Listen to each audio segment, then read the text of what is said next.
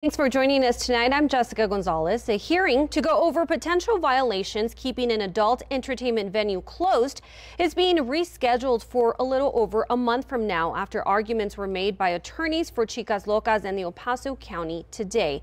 KFOX 14 News at 9's Eileen Herrera was in the courtroom. She joins us now with why the county claims the business owner is violating an agreement made back when the establishment operated as Jaguars Gold Club. Eileen.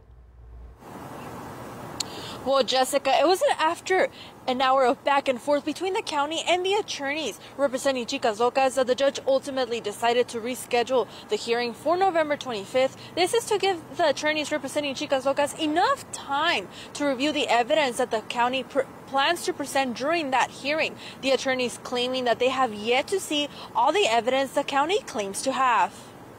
We're entitled to some evidence of what we allegedly did wrong. We don't believe we've done anything wrong.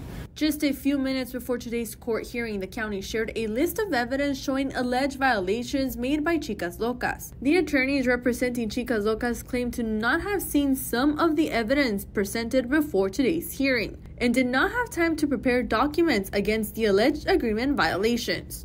The county is asking the court to order Chicas Locas to close down for one year, as well as for the owners to pay a bond as a penalty of violation. We've complied with the court order and we should be back in business. Currently, Chicas Locas is closed after the city of El Paso found a fire code violation. During today's hearing, the judge considered putting her own 30 day temporary restriction order.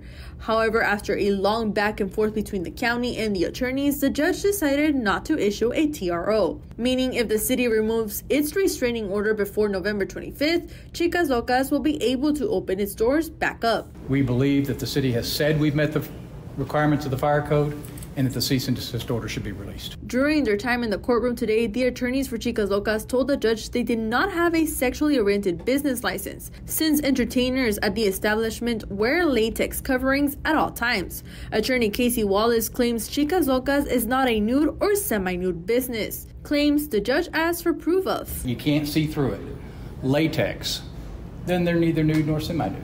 And that's what happens at every club in San Antonio, for example.